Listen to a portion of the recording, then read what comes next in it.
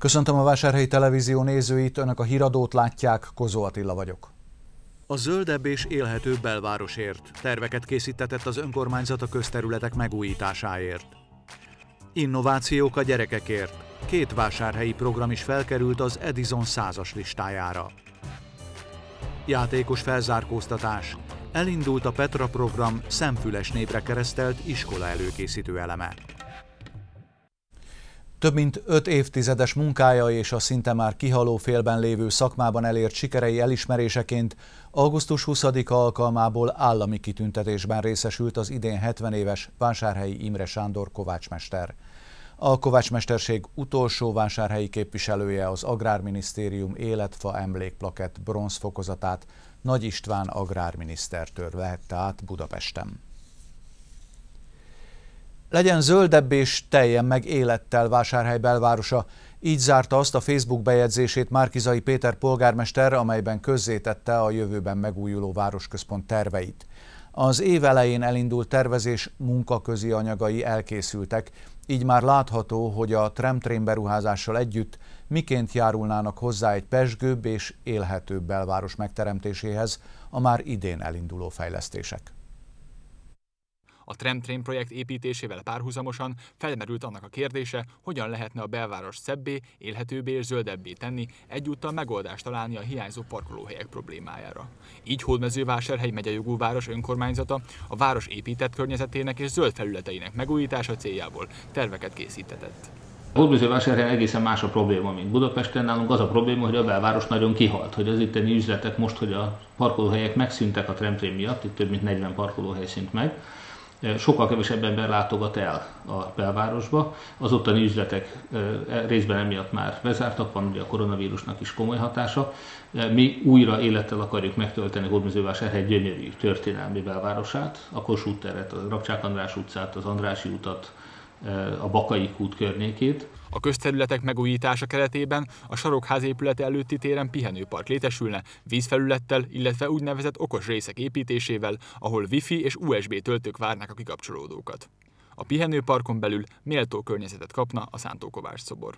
Az ideális, de hát nyilván nagyon drága megoldás az lenne, hogyha valaki Szegeden ismeri a Gutenberg utcát, ugye a zsinagógának az árkádot, a, a, a Tiszalai és körúttal összekötő utcájáról beszélek. Tehát, hogyha azt ismerik, valami hasonlót szeretnénk megvalósítani a Szent Antal utcában, gyerekkorom óta egy sivár, eh, napos, eh, hangulattalan utcáról beszélünk a város szívében. A tervek szerint az Ótemplom környéke térburkolatai szintén megújulnának. A belváros parkolási gondjainak megoldására a Cseresnyés kollégium és az Andrási úti lakóházak között 50 férőhelyes sűjesztett parkoló létesülne, valamint új sétányok épülnének a templomot övező kőfalon keresztül. Idén két hódmezővásárhelyi program is szerepel az óvodás és általános iskolás gyerekek újszerű fejlesztéseit összegző Edison százas listán. Az egyik az időspirál élményközpont, ahol a gyerekek a virtuális valóságot, valamint az érintőképernyők lehetőségeit kihasználva játszva ismerkedhetnek meg az emberi testtel, vagy akár a naprendszer titkaival. A másik a Klimanócskák program, amely az óvodás és kisiskolás korosztály klímatudatos szemléletmódját fejleszti és beépíti a környezetvédelmet a fiatalok mindennapjaiba. Az Edison százas listáján olyan kezdeményezések találhatók, amelyek Magyarországon újszerű, izgalmas módon fejlesztik az óvodás és általános iskoláskorú gyerekeket és szüleiket.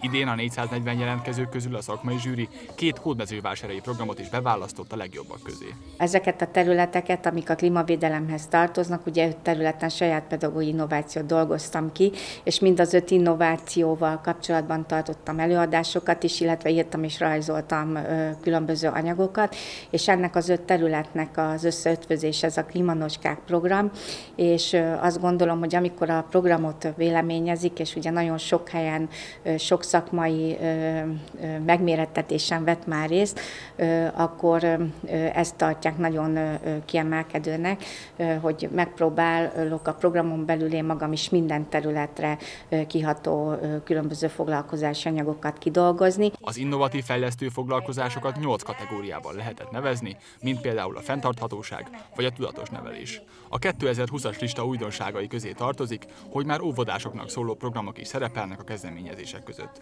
Azonban a klímanóság az egyetlen kizárólag óvodai keretek között működő program a palettán.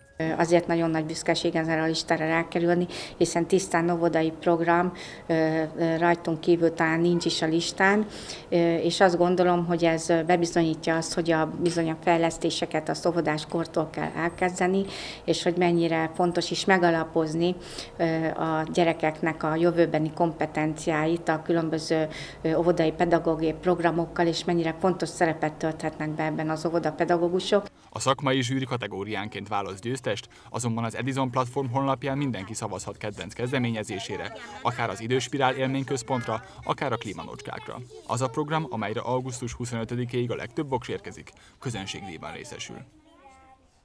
A nyári szünet még javában tart, ám a város hátrányos helyzetűeket támogató felzárkóztató programja a Petra már elkezdődött. A legkisebbek a nagycsoportos óvodások és a kisiskolások számára ugyanis elérhetők a csoportos foglalkozások a Jókai utcai bázison. Ennek előfeltételeként 50 családdal született meg az együttműködési megállapodás, akik 10 hónapon keresztül vállalták a közös munkát a szakemberekkel. Stábunk legutóbb a szemfüles névre keresztelt iskola felkészítő órán vett részt, ahol az 5 éves gyerekek fejlesztése játékos formában valósul meg. Most mindkét kezeden pörgessétek a karikát.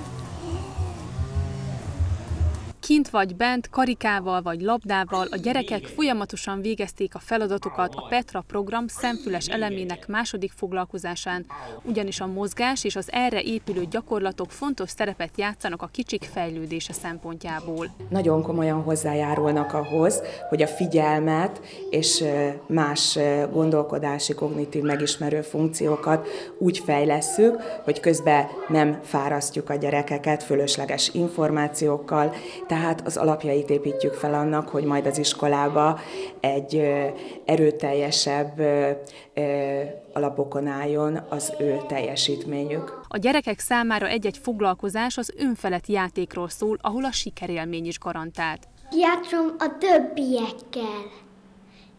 Labdásást, kígyósást, és... Mm. Mi mindent csináltok még? És Luffyhoz dobni a labdákat. Noémi is kedvenc elfoglaltságait sorolja. Azokat a korombokat raktuk a testrészekre, meg amikor páros lábbal kellett itt végigugrálni. A Petra szemfüles elemének résztvevői valamennyien nagycsoportos óvodások, akik úgy kerültek ebbe a komplex felzárkóztató foglalkozás sorozatba, hogy a szülők 10 hónapon keresztül vállalták a módszertani fejlesztő munkát, és erről együttműködési megállapodást is kötöttek a modellprogram szakértőivel. Elsősorban az óvoda küldött bennünket, a Szabadságtéri óvoda, és a nagyfiúnak van né, né, néhány hiányossága, amit ez alatt az egy év alatt be kell hoznunk, és javasolták, hogy jó lesz neki. De már az első alkalommal láttuk, hogy nagyon jó. A nagycsoportos óvodásokat tömörítő szemfüles mellett a legkisebbeket érintő bababarát és a kisiskolásokat segítő start eleme is elindultak a Petra programnak összesen 50 vásárhelyi család bevonásával. A magyar zenei életben jelentős szerepet betöltő kortárs zeneszerzők művei kaptak főszerepet a 28. augusztusi zenei napok harmadik tanári koncertjén az Unitárius templomban. A koronavírus járvány sem tudta elvenni a növendékek kedvét, ezen a nyáron is mintegy száz fiatal döntötte a hódmezővásárhelyi tábor mellett.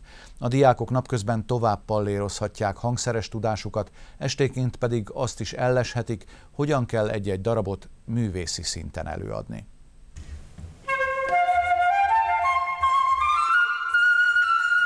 Dracsai Ákos művészeti vezető, Besenyei díjas fuvola művész is jó példával járt elől. Az ő játékát is élvezhették a 28. augusztusi zenei napokra érkező ifjú muzsikusok és a város vágyfülű közönsége.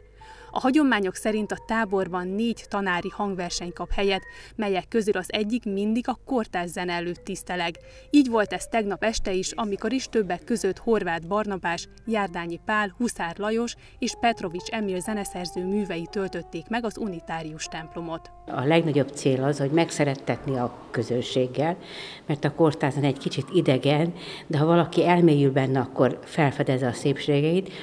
Ez az egyik, a másik pedig, hogy a, a növendékek hallgassanak ilyet, halljanak ilyet, és hogy lehet egy ilyen művet művészi szinten eh, elfogadtatni a közönséggel. A tábornak vannak visszatérői, de olyanok is akadnak szép számmal, akik most vesznek részt rajta először. A budapesti Szentgyörgyi Dezső nagy álma, hogy fagott művész legyen, de előtte még Hódmezővásárhelyen gyarapítja a zenei tudását. A Szent István Konziba tanultam, felvételiztem az akadémiára, és az ottani tanárom szólt, hogy van ez a lehetőség, és érdekelt. Mert elmaradt az előfelvételi a vírus miatt, és a lakatos tanárúrnál fogok tanulni, mert sikeresen fölvett. Úgyhogy gondoltam, hogy kicsit foglalkozzon velem. Az idei táborban Soprontól Szegedig mintegy százan vesznek részt. A lelkes növendékek napközben hangszeres tudásukat pallérozhatják esténként, a koncertek alkalmával pedig azt is elleshetik tanáraitól és egymástól, hogyan tökéletesíthetik előadásukat. Kedves nézőink, Önök a Vásárhelyi Televízió híradóját látták, hírműsorral legközelebb holnap este fél hatkor jelentkezünk, legyenek akkor is a nézőink, addig pedig kövessenek bennünket az online térben, keressék fel hírportálunkat, a hotpress.hu-t, illetve látogassanak el Facebook oldalunkra vagy YouTube csatornánkra, ott korábbi műsoraink közül is válogathatnak. Én köszönöm figyelmüket, viszontlátásra!